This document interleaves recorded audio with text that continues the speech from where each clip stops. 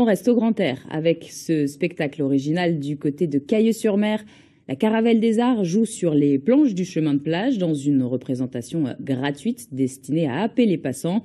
Les deux artistes sur scène font découvrir des œuvres médiévales. Une représentation suivie par Gabin Cransac et Mohamed Erami.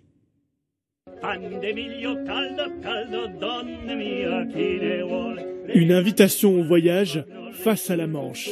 Pour leur dernière représentation sous le soleil, les deux artistes créent le voyage en chanson.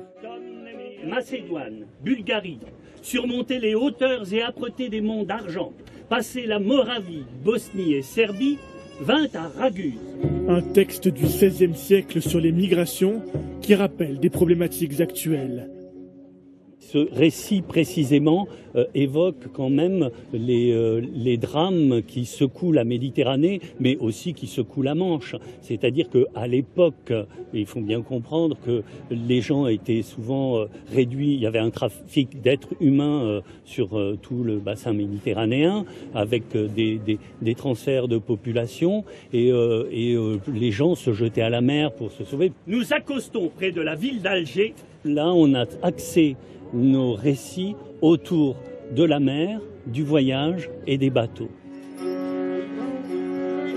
L'instrument aussi vient du Moyen Âge, un bond vers le passé pour découvrir un art et des récits méconnus. On a voulu tenter l'expérience d'aller à la rencontre de publics nouveaux, des gens qui ne viennent pas euh, nous voir en, spectacle, mais voilà, donc leur, apporter quelque chose, qui, euh, la musique euh, vient à eux et eux viennent à nous.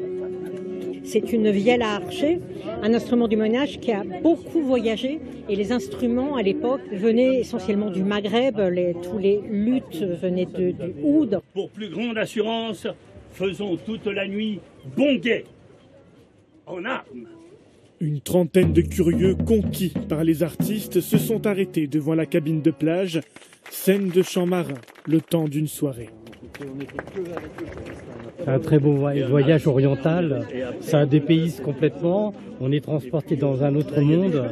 Surtout l'addiction parfaite, euh, et puis le, le voyage, le voyage. Et c'est ça qui est merveilleux parce qu'on est embarqué au XVIe siècle. La Caravelle des Arts poursuit ses représentations à Holt jusqu'à la fin de l'été.